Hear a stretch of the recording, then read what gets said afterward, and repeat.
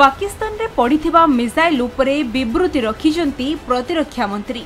ତେବେ ସୂଚନା ଅନୁସାରେ ମାର୍ଚ୍ଚ ନଅରେ ଭାରତର ଏକ ମିସାଇଲ୍ ପାକିସ୍ତାନ ଉପରେ ପଡ଼ିଥିଲା।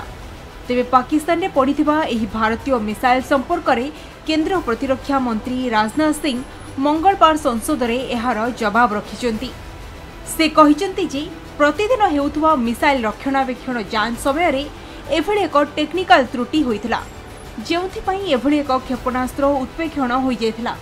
ତେବେ ପ୍ରତିରକ୍ଷା ମନ୍ତ୍ରୀ ଏଭଳି ଏକ ଘଟଣା ପାଇଁ ଦୁଃଖିତ ଅଛନ୍ତି ବୋଲି କହିଛନ୍ତି। ଏହା ସହିତ ସେ ସଂସଦରେ କହିବାକୁ ଚାହିଁଛନ୍ତି ଯେ ଏଭଳି ଘଟଣାରେ କାହାର କିଛି କ୍ଷତି ହୋଇନାହିଁ। ଆହୁରି ପୁଣି ସେ ସ୍ପଷ୍ଟ କରିଛନ୍ତି ଯେ ସରକାର ଏଭଳି ଏକ ଘଟଣାକୁ ଗମ୍ଭୀରତାର ସହ ନେଇ ଉଚ୍ଚସ୍ତରୀୟ ତଦନ୍ତ ପାଇଁ ନିର୍ଦ୍ଦେଶ ମଧ୍ୟ ଦେଇଛନ୍ତି।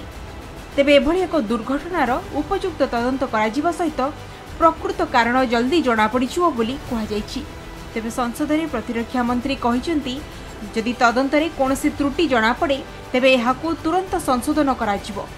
ଏହା ସହିତ ଭାରତର ସମସ୍ତ ସୁରକ୍ଷା ଏବଂ ନିରାପତ୍ତା ବ୍ୟବସ୍ଥାକୁ ସରକାର ଅଧିକ ଗୁରୁତ୍ୱ ଦେଉଥିବା ମଧ୍ୟ ସେ ଜଣାଇଛନ୍ତି। Bureau report Odisha Bhaskar.